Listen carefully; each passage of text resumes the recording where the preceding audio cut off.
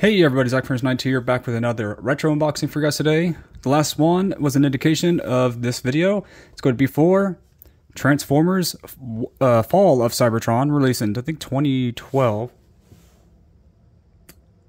Yes, 2012. Came out 12 years ago now. Um, this game did initially did initially have a sleeve cover. My original copy that I had years ago did have that, but this is not my original copy, but it's still in okay condition.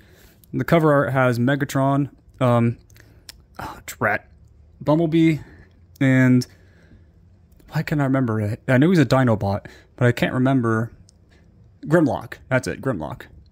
And I can't remember what that Autobot is up there. I know he's an Autobot. I just can't remember his name all, all, all, all together right now. I got the spine. Got the background. No background. The back of the case. That was my own fault with, I think that's Megatron on it. This game had a very good multiplayer, um, online multiplayer, local multiplayer, and the gameplay itself was to me better than its uh, predecessor, control-wise and just gameplay. Visuals are almost identical, has a similar graphical style between the two games. It just had a different, um, I guess, design for some of the Autobots than the other one game. There was a sequel game to this as well, and it was um, Rise of the Dark Spark, but that was more based off the movie than it was the, these games, even though they have the same gameplay. Just very bad, excuse me, uh, like frame rate drops, like really bad. And then here's the back, talking about the DVD set of the original show, which actually I do have.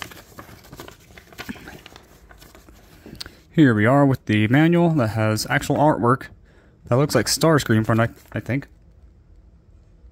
Is that or, or hmm? Not sure who that is. It kind of looks like Optimus's head. I don't know. Got the controls right here. We got Bumblebee. We got Optimus on the left.